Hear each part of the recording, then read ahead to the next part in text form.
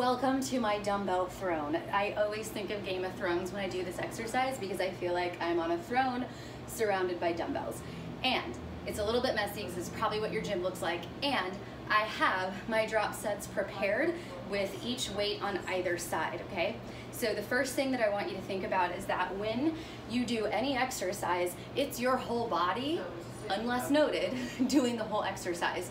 So while you're here on your bench with your back completely vertical, I want you to feel that you kind of like wedge yourself into this. And I want you to think about bone structures. So your pelvis, the back of the pelvis, is pressed against the, the, the, the back of the bench. and then your shoulders, if you can think of your shoulders as shoulder blades and a little bit of a round surface from your rib cage, that is pressing into the bench. And I'm pushing with my feet a little bit. Not too much to where I move, but definitely to where I'm actively on this bench. Now, some benches are going to go higher than your head.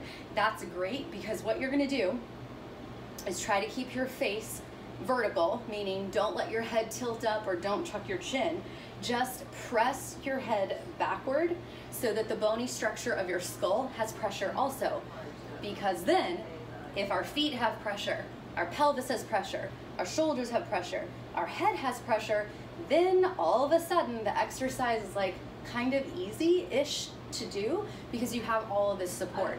Now, if you see this one, my head is be is not supported, um, but what I can feel here, well, I'll try that out. So I'm kind of hooking my occiput, the part where your skull starts to go out, kind of around that. We'll see how it feels.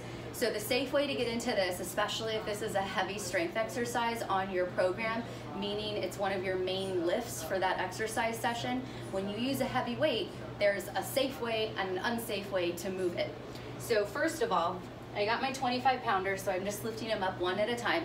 And now these are vertical on my knees. So what I'm gonna do is kick it up, kick it up, to get into the starting position. Now here I'm just gonna rearrange everything, feel that I'm that I'm pressed against it. Now with the weight, your natural curves of your spine are mostly are probably gonna show up.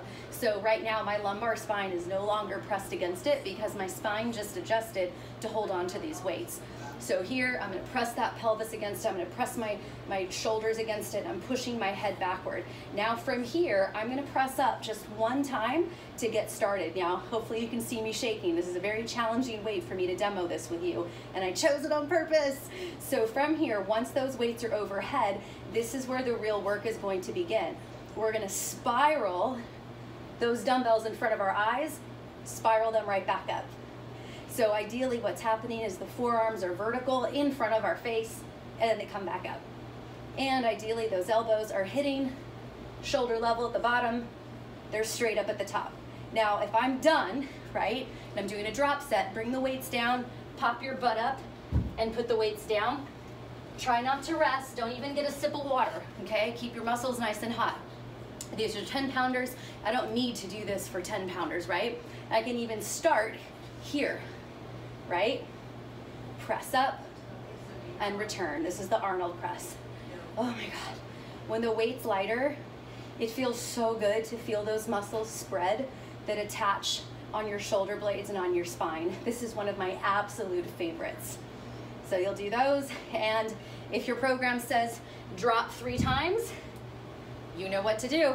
You, you've gotta go with three different weights so that you completely exhaust those muscles. Even if it's just two or three on your lightest weight, that's still fucking amazing.